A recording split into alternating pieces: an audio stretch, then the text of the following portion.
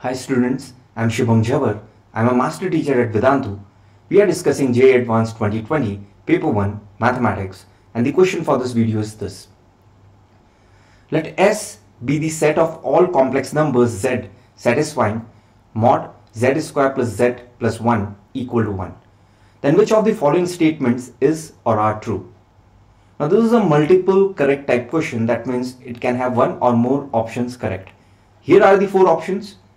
Seeing the first options, let me tell you the concept that we are going to use to comment upon the first three options is triangle inequality which essentially is mod of z1 plus z2 is less than equal to mod of z1 plus mod of z2 and the same expression mod of z1 plus z2 is greater than equal to non-negative difference between mod of z1 and mod of z2.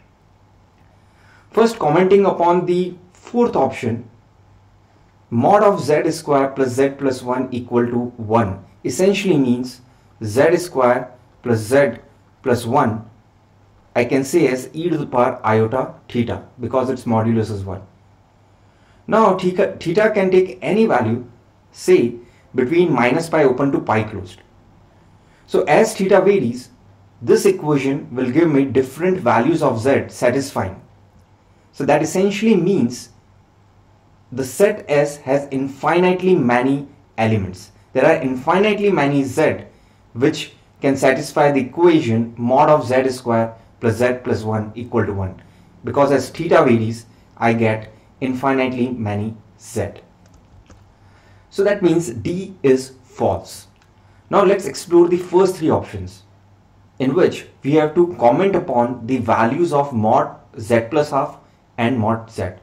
So let's first start with mod z plus half. Now to create z plus half expression, I would complete the square of this quadratic. That means I'll write z square plus z plus 1 as z plus half whole square plus 3 by 4. Now using triangle inequality, I can say this is less than or equal to mod of z plus half whole square plus mod of 3 by 4. Now this expression is same as 1 as per this given info. So you can say 1 is less than equal to mod of z plus half whole square is essentially this and mod of 3 plus 4 is 3 plus 4 only. So essentially it means mod of z plus half whole square is greater than equal to 1 minus 3 by 4 which is 1 by 4. So that essentially means mod of z plus half is greater than equal to half. Mind it mod can never be negative. So mod of z plus half greater than equal to half is what I can comment about mod of z plus half. So if we go back, that essentially means C is correct and hence A is wrong. Now you may be inquisitive. What if I had used the other part of triangle inequality that is this. So here it effectively means two possibilities.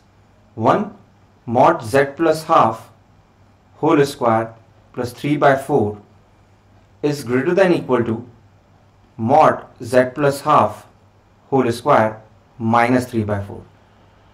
So that essentially means 1 is greater than equal to mod z plus half whole square minus 3 by 4 which essentially means mod of z plus half whole square is less than equal to 7 by 4 which essentially means mod of z plus half is less than equal to root 7 by 2 and of course uh, you know it is greater than equal to 0 in fact it is greater than equal to half which we have already commented upon now what if I had used the other possibility which is mod z plus half whole square plus 3 by 4 which is essentially 1 is greater than equal to what if I had taken it opening with opposite sign?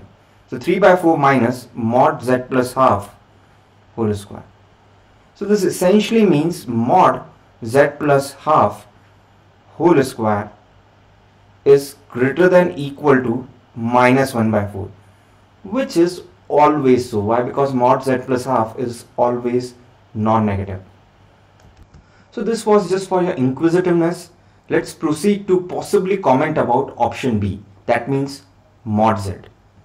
Now to comment upon mod z, I would like to isolate z.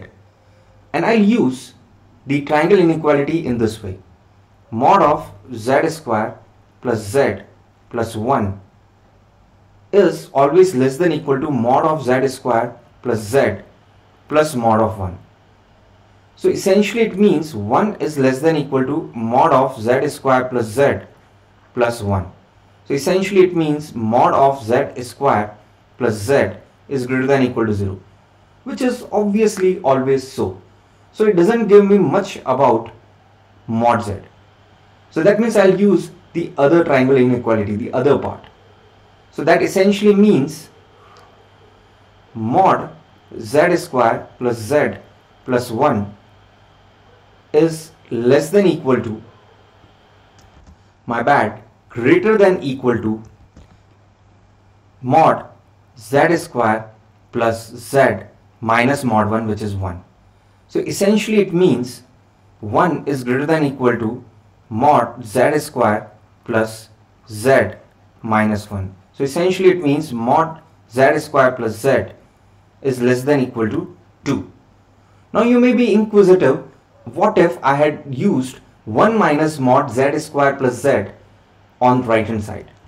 This would have meant that 1 is greater than equal to 1 minus mod z square plus z which essentially would mean mod z square plus z is greater than equal to 0 which is always so obviously. Now coming back to this I'll further say since there is less than equal to using triangle inequality that this expression mod of z square plus z is greater than equal to mod of z square minus mod of z. This essentially means mod of z square minus mod of z minus 2 is less than equal to 0. That means mod of z minus 1 plus 1 multiplied by mod of z minus 2 is less than equal to 0. So that essentially means mod of z is less than equal to 2 greater than equal to minus 1. Now this is redundant because mod z is always greater than equal to 0. So essentially it means mod z is less than equal to 2. So as we go back and check the option, B seems to be correct.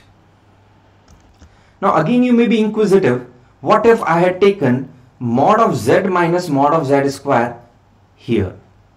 So just to satisfy your inquisitiveness, we will see what happens. Mod z minus mod of z square, we get less than equal to mod of z square plus mod of uh, uh, mod of z square plus z less than equal to 2. So this essentially means mod of z square minus mod of z plus 2 greater than equal to 0. Now if you see carefully, this is a quadratic in mod z whose discriminant is less than 0. That essentially means this will always hold. Why? Because its leading coefficient is positive and mod z is of course something real. Nonetheless, this inequality always holds and we don't get uh, as such any anything much here. So that means my final answers are B and C. Thanks for listening. Stay tuned for next question.